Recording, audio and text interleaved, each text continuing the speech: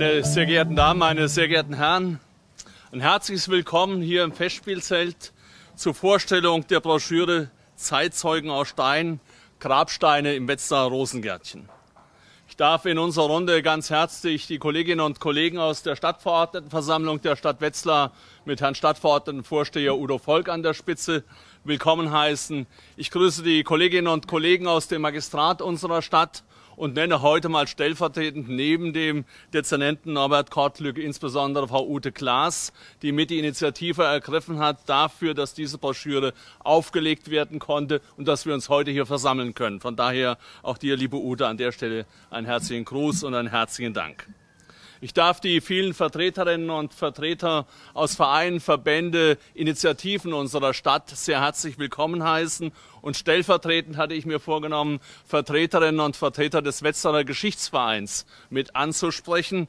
Denn letztendlich hat Heinrich Klöll der einmal Vorsitzender, Ehrenvorsitzender des Wetzlarer Geschichtsvereins war, sich mit dieser Anlage sehr intensiv auseinandergesetzt, bei der Umgestaltung von einem Friedhof zur Promenade im Grunde mit dafür gesorgt, dass doch ein Teil der Grabsteine erhalten blieb und er hat sie letztendlich auch in den Mitteilungen des Wetzlarer Geschichtsvereins beschrieben und ich denke damit auch eine wesentliche Grundlage für die weitere Dokumentation gelegt.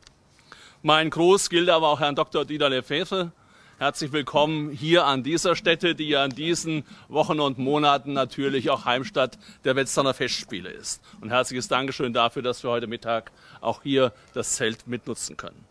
Mein Gruß gilt Herrn Olaf Schulz ganz herzlich und auch ein herzliches Dankeschön dafür, Herr Schulz, dass Sie uns nachher nochmal Einblick geben in Ihre Arbeiten, die Sie hier durchgeführt haben, wenn wir die Gelegenheit haben, nachher uns ein Stück weit durch die Anlage und durch die Grabsteine zu bewegen.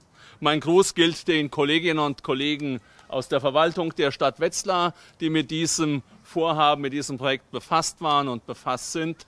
Ich grüße die Mitarbeitenden des Stadtbetriebsamtes mit Herrn Amtsleiter Kai Felder an der Spitze, der Sachgebietsleiter Friedhöfe. Herr Hasse ist leider erkrankt, von daher gelten ihm von dieser Stelle aus die herzlichen Genesungswünsche.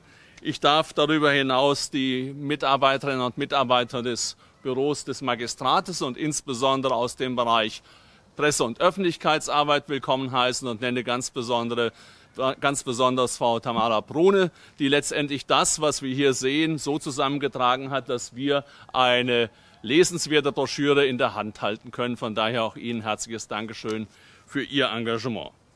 Und meine Damen und Herren, ich grüße herzlich die Vertreterinnen und Vertreter der Presse und bedanke mich für das Interesse und auch für die Berichterstattung über die heutige Veranstaltung. Ja, ich sagte es eingangs schon, vor vielen Jahren beschrieb Dr. Heinrich Krohl in den Wetzlarer Mitteilungen des Wetzlarer Geschichtsvereins fast 200 Grabsteine des alten Friedhofes, transkribierte deren Inschriften und übersetzte sie, soweit sie in Latein gehalten waren, denn er war Lateinlehrer. Und 1956 erfolgte eine Dokumentation, die mehr als sechs Jahrzehnte danach zwischenzeitlich vergriffen und auch in weiten Teilen überholt ist. Und von daher ist es auch ganz schön, dass wir heute nun eine neue Broschüre vorstellen können, die sich letztendlich sowohl an Gäste unserer Stadt wendet, die sich mit der Geschichte unserer Stadt auseinander und setzen möchten und vertiefend befassen möchten, aber auch eine Broschüre, die sicherlich für viele Wetzlarerinnen und Wetzlarer von Interesse ist, um das ein oder andere anhand der Grabsteine nochmals nachzuvollziehen und ein wenig mehr letztendlich in die Geschichte unserer Stadt einzutauchen. Von daher, ich glaube, wir schließen, liebe Ute Klaas, liebe Mitstreiterinnen und Mitstreiter, eine Lücke, die geschlossen gehört. Und ich bin dankbar, dass Sie sich, dass ihr euch so viel Mühe gemacht habt, um diese Broschüre dann aufzulegen und letztendlich den Mitbürgerinnen und Mitbürgern, den Gästen der Stadt zur Verfügung zu stellen.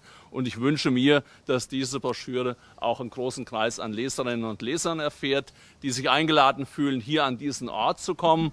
Und vorgesehen ist, dass Sie nachher Herr Felder hat eine entsprechende Anzahl an Broschüren dabei, jeweils eine Broschüre ausgehändigt bekommen und wir Sie anhand der Broschüren dann nachher den Weg auch durch die Anlage nochmal nehmen können. Darüber hinaus wird die Broschüre in der Touristinformation vorhanden sein, sodass Wetzlarer und Wetzlarer, aber auch Gäste der Stadt sie in Empfang nehmen können. Herzlichen Dank und ich darf nun das Wort Ute Glas erteilen, die letztendlich eine derjenigen ist, die ganz maßgeblich zu diesem Projekt beigetragen haben. Herzlichen Dank. Ja, schön, dass ihr so zahlreich gekommen seid und wir sind ganz froh, dass wir es endlich vorstellen können. Es war ein längerer Weg. Ich habe also einmal die, den Antrag gestellt in der Stadtverordnetenversammlung, damals noch als Stadtverordnete, weil ich es unheimlich wichtig fand, dass die Grabsteine ja doch Zeitzeuge einer anderen Epoche sind und dass man auch diese Texte erhält und weiter in die nächsten Generationen reinträgt. In der Stadtverordnetenversammlung wurde es dann beschlossen und dann sind die Sachen erstmal ihren Weg gegangen. Es wurden erstmal die einzelnen Grabmale aufgenommen, sie wurden nummeriert, es wurde ein Plan erstellt. Und dann haben wir aber festgestellt, dass eben ganz viele Grabsteine schon gar nicht mehr richtig lesbar sind. Dann hat der Herr Schulz die Steine zum Teil noch gereinigt. Das wird er Ihnen dann auch nachher noch erklären, wie er das gemacht hat. Und von der Seite her haben wir dann endlich anfangen können, die Texte aufzunehmen.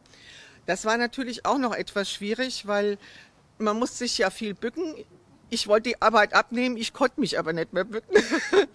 Und äh, die Texte waren halt zum Teil trotzdem sehr schwer zu lesen. Und dann habe ich alle Grabsteine nochmal aufgenommen, den Textbereich mit Bildern und konnte das dann am Computer vergrößern und dann doch die Worte dann immer noch wieder rauslesen, sodass wir dann endlich die Texte zusammen hatten. Frau Brune war dann so nett und hat diese ganze Broschüre zusammengestellt und auch diese wunderschöne Gestaltung gemacht. Also ich finde sie sehr gelungen.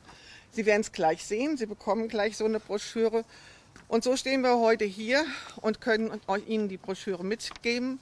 Und Sie können sich anhand der Broschüre halt eben auch dann die Grabmale angucken und die Texte nachvollziehen.